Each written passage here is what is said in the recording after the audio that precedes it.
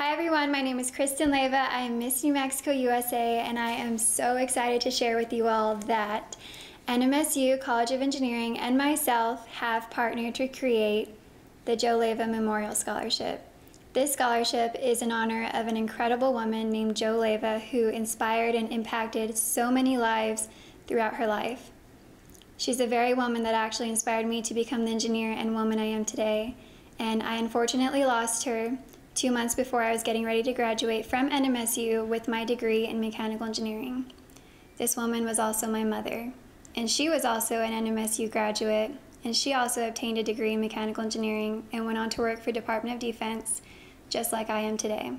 And this scholarship is going to help impact so many students and help them achieve their dreams of becoming an engineer, just like she helped me achieve mine.